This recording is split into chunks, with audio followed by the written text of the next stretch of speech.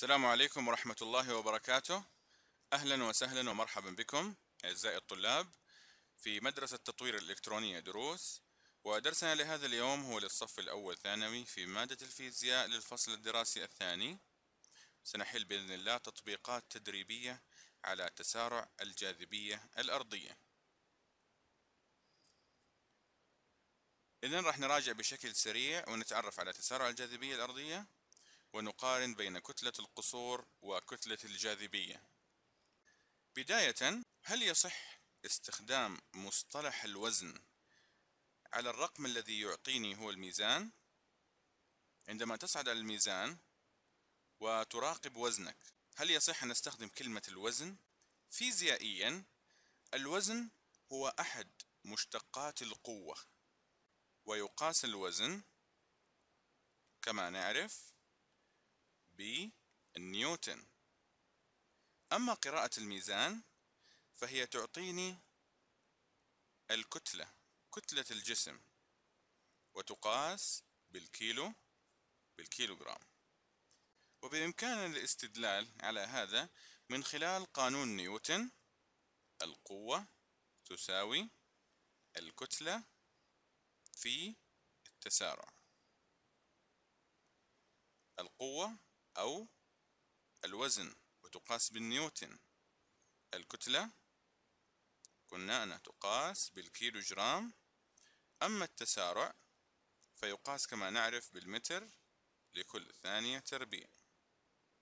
في حالات تسارع الجاذبية الأرضية نستبدل A ب G اللي هي تسارع الجاذبية الأرضية وقيمتها تسعة فاصلة ثمانية من عشرة.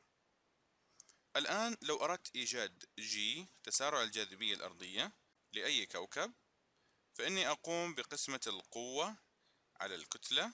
وكما نعرف أن الوزن بالنيوتن والكتلة بالكيلو جرام هذا يعني أن تسارع الجاذبية الأرضية يقاس أيضا بوحدة النيوتن لكل كيلو جرام ومن خلال هذا القانون أيضا إذا أردت إيجاد الكتلة فأجد أنها تساوي الوزن مقسوما على تسارع الجاذبية الأرضية. وكما نعرف الوزن بالنيوتن وتسارع الجاذبية الأرضية كما أوجدناه قبل قليل نيوتن لكل كيلو جرام إذا نيوتن مع النيوتن يتبقى عندي كيلو جرام إذا الكتلة تقاس بالكيلو جرام إذا الكتلة هي عبارة عن ميل المنحنى. هذا الميل. ميل هذا المنحنى. فرق الصادات على فرق السينات. طبعا يكون هذا الميل هو ميل القوة وميل التسارع. القوة بالنيوتن والتسارع قلنا نيوتن لكل كيلو جرام سيعطيني الكتلة M. نبدأ الآن في حل بعض المسائل. ونبدأ بهذا السؤال. كتاب كتلته 1.25 كيلو جرام ووزنه في الفضاء 8.35 نيوتن. ما قيمة المجال الجاذبي في ذاك المكان في ذيك النقطة؟ ما هو مقدار الجاذبية؟ إذا نكتب المعطيات. أول معطى في هذا السؤال هو الكتلة.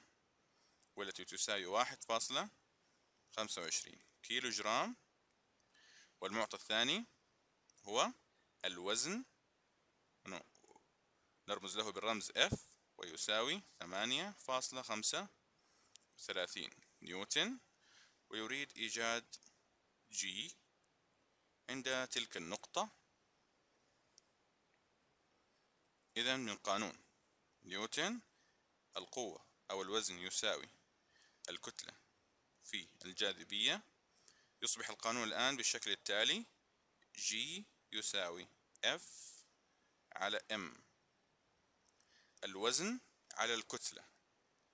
أعوض. الوزن يساوي ثمانية فاصلة خمسة وثلاثين. قسمة الكتلة اللي هي واحد فاصلة خمسة وعشرين. سأجد أن الجاذبية عند تلك النقطة تساوي ستة فاصلة ثمانية وستين والوحدة هي نيوتن لكل كيلو جرام ما رأيكم في هذه القيمة؟ هل هي قيمة أكبر من تسارع الجاذبية الأرضية أم أقل؟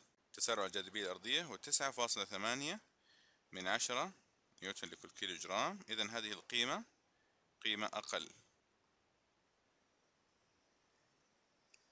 ناخذ سؤال آخر. كرتان كتلة الأولى ثمانية كيلو جرام وكتلة الثانية ستة كيلو جرام والبعد بين مركزهما اثنين متر. احسب قوة الجاذبية بينهما. ما هي القوة التي تؤثر كل منهما في الأخرى؟ نكتب المعطيات. كتلة الكرة الأولى ثمانية كيلو جرام وكتلة الكرة الثانية ستة كيلو جرام والمسافة بينهما R هي اثنين متر ويريد إيجاد F القوة بين هاتين الكرتين. إذن القوة F تساوي G في كتلة الكرة الأولى في كتلة الكرة الثانية مقسوما على المسافة تربيع. نقوم بالتعويض بشكل مباشر. وجي له قيمة ثابتة ستة فاصلة سبعة وستين في عشرة سالب أحداش. مضروبا في إم واحد اللي هي ثمانية. مضروبا في إم اثنين اللي هي ستة. ومقسوما على المسافة تربيع اللي هي اثنين. تربيع. سأجد أن القوة بين هاتين الكرتين قوة التجاذب بين الكرتين تساوي ثمانية في عشرة سالب 11 نيوتن. أي أن الكرتين يتجاذبان بقوة مقدارها ثمانية في عشرة سالب 11 وهي قوة صغيرة جدا جدا جدا لا نحس بها. نأخذ سؤال آخر. إذا علمت أن قوة الجاذبية بين إلكترونين خمسة فاصلة أربعة وخمسين في عشرة أس سالب واحد وسبعين نيوتن قيمة صغيرة جدا جدا جدا بين الإلكترونات. وأن البعد بين هذين الإلكترونين واحد متر فما هي كتلة الإلكترون؟ يريد الآن أن يوجد كتلة الإلكترون. نكتب المعطيات. القوة F تساوي خمسة فاصلة أربعة وخمسين في عشرة سالب واحد وسبعين نيوتن والبعد بينهما اللي هو R تساوي واحد متر. المطلوب هو إيجاد كتلة هذا الإلكترون. سأستخدم نفس القانون في المسألة السابقة. القوة تساوي G في كتلة. الإلكترون الأول في كتلة الإلكترون الثاني مقسوما على المسافة بينهم تربيع.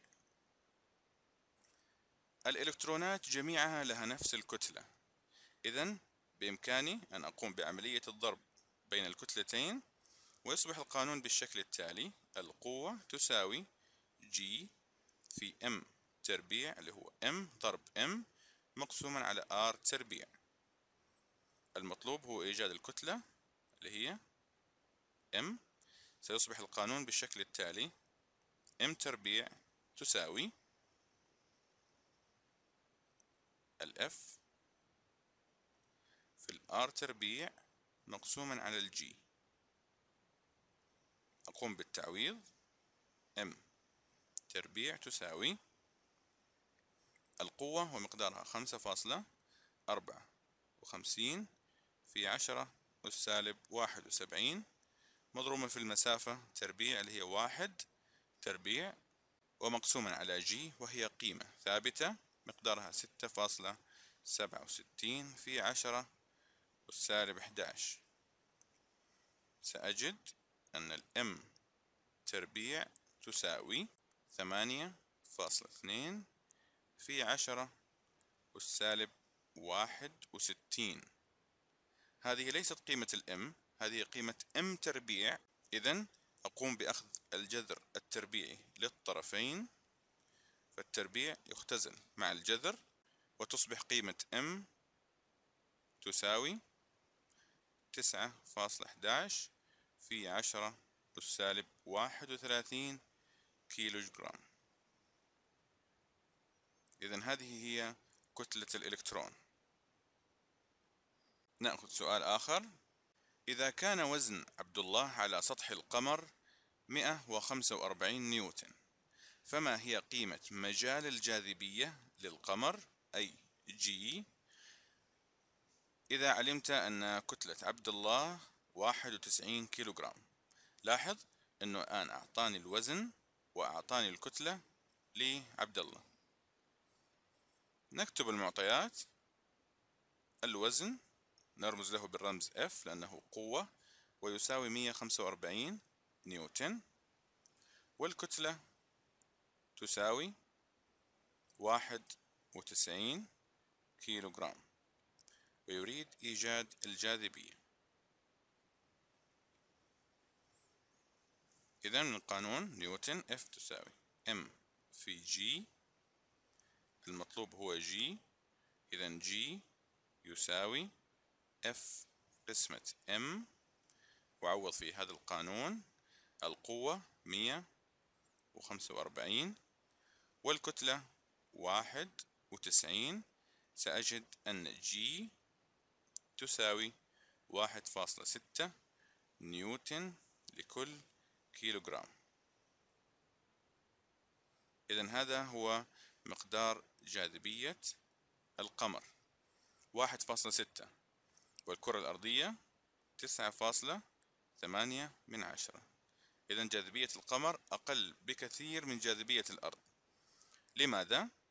لأن كتلة القمر أقل من كتلة الأرض. إذا بكذا يكون وصلنا لنهاية درسنا لهذا اليوم. أخذنا تطبيقات على تسارع الجاذبية الأرضية وعلى قانون نيوتن للجذب الكوني وعلى مجال الجاذبية. هذه هي مراجع درسنا لهذا اليوم. وللتواصل أو المزيد من الدروس الرجاء زيارة عين بوابة التعليم الوطنية نراكم بإذن الله في درس قادم. والسلام عليكم ورحمة الله وبركاته.